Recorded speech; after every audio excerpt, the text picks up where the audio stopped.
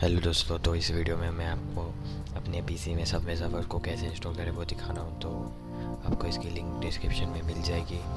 मैं आपको इसकी लिंक दे दूँगा डिस्क्रिप्शन में तो आपको यहाँ पर इसकी सिस्टम रिक्वायरमेंट्स देखने को मिल जाएगी। तो ये आपके पीसी में आराम से चल जाएगा, बहुत ही कम इसकी सिस्टम रिक्वायरमेंट्स है। तो आपको यहाँ पर डाउनलोड का बटन मिल जाएगा इजीली आप इसको डाउनलोड कर सकते हो। आपको पाँच सेकेंड रुकना होगा, पाँच या दस सेकेंड आपको खुद ब खुद डाउनलोड स्टार्ट हो जाएगा। तो मैं इसको डाउनलोड नहीं कर रहा हूँ।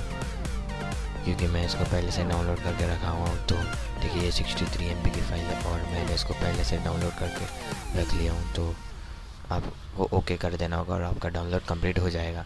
फिर आपको ओपन फोल्डर पर क्लिक करना होगा तो आप वहाँ पर आ जाओगे जहाँ पर आपका गेम डाउनलोड हो चुका तो आपको सिंपली एक्सट्रैक्ट हीयर पर क्लिक कर देना होगा।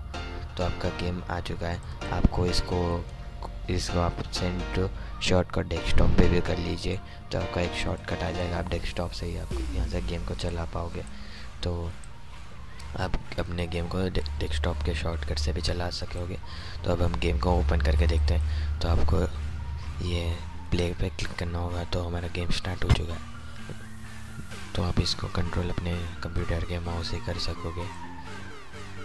यही था इस वीडियो में। अगर वीडियो कैसी लगी, कमेंट करके ज़रूर बताना। और अच्छी लगी तो लाइक, कमेंट, शेयर, सब्सक्राइब कर देना। अगली वीडियो में मिलते हैं। Thanks for watching